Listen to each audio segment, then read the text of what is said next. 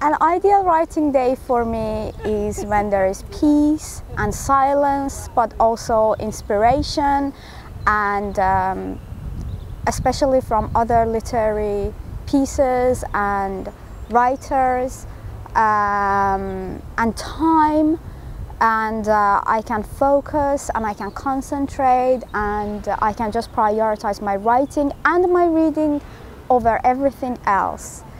Um, that's an ideal writing day for me.